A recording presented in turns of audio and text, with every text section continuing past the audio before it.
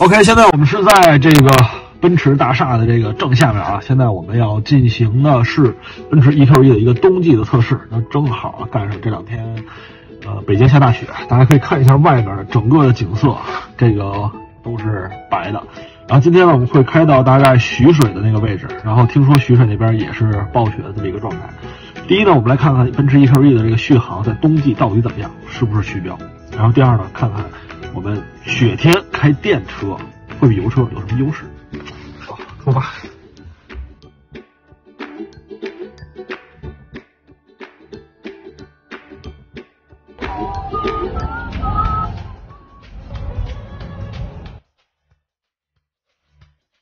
现在呢，我们已经到了杜家坎儿，然后整个的车队都会在这儿集结。我觉得编队行驶吧，然后看一下我们整个的电量，现在还有百分之八十二，我们的续航里程最多最多有一个 max 是四百九十一公里，肯定是到徐水或者是到保定是没有问题的。整个的这个开起来感觉呀，动力的这个输出啊，会比油车好很多，因为电机的这个控制跟油车完全不是一个时代的东西。好了，我们马上就要出发了，一会儿见吧。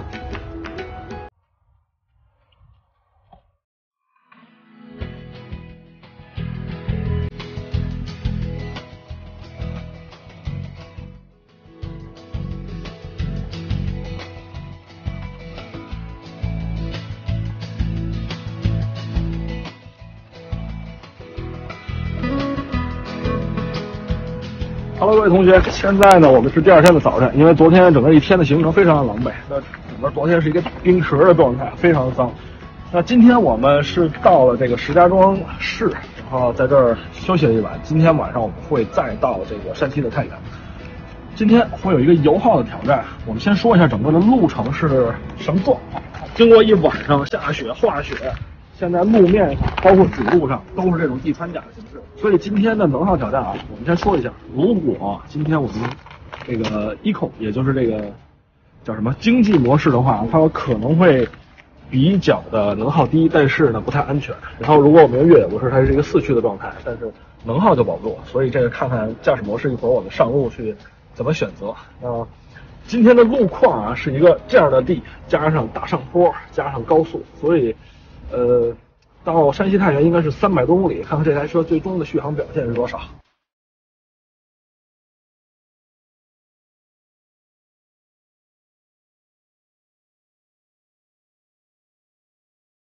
好了，各位同学，我们现在已经到了这个平遥饭店了。现在我们一共开了大概五个小时吧。那整个的能耗的显示，我们看一下啊。首先节能提示，这有一个五颗星的这个。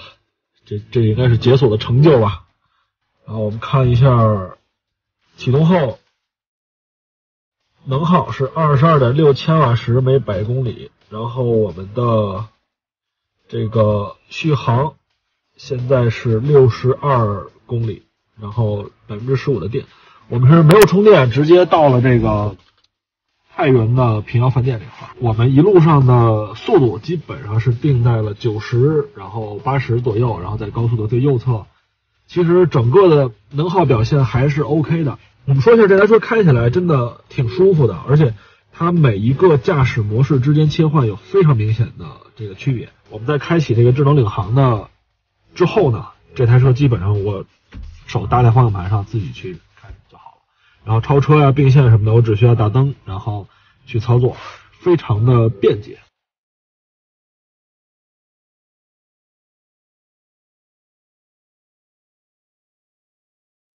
OK，那今天我们到这个车平遥古城啊，给大家拍一下这个车啊。刚刚我们是把这车全部都收拾干净了。呃，首先来看一下外观，整个车是一个非常像水滴那么一个很圆润的造型。那它的速度系数呢，达到了零点二五 CD，也就是和奔驰过去的轿车的速度系数是一样的。我们来看看都有什么呃小的设计吧。首先，一个低风阻轮圈，这个轮圈可以帮助它的续航涨几公里。因为我们的这个 EQE SUV 五百和那边的奔驰的 EQE SUV 三五零，它的动力系统是一样的，但是就差在这轮毂上面，能让它差出应该是十公里左右的这个。呃，续航里程，我们来后面看一下啊。那我们看一下今天的轮胎啊，是普利司通的泰然者 T 零零五 S，这个其实还就是一个普通的公路胎。后面整个车的造型依旧是一个非常圆润的这样的水滴的造型。其实整体的这个造型都是融入在它考虑到这个风阻系数这么一个逻辑里面。啊，另外还要说一下它的续航里程，我们来看一看，开到这儿，路上一共是二百大几十公里，然后其实它的掉电量是达成率应该是百分之六十左右了。那其实对于电动车来说啊，这样的一个零下，刚才我们最低。在表显里面看到的零下十四度、十五度的这个温度，百分之六十的这个续航里程，应该是还算一个比较正常的水平。因为电动车嘛，谁也不可能说我的续航里程在这么低温的情况下可以达到百分之七十或者八十。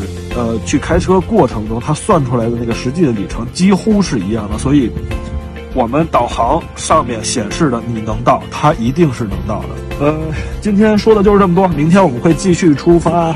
到洛阳啊，又是一个比较有历史文化的这么一个城市啊。明天见，拜。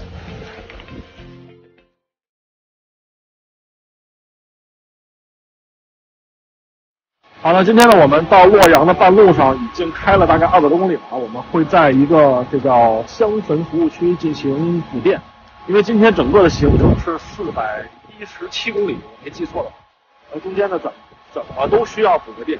然后我们刚才进来的时候，大概还剩个百分之三十六左右的电了。现在出了可能有二十分钟，可以充到快百分之八十。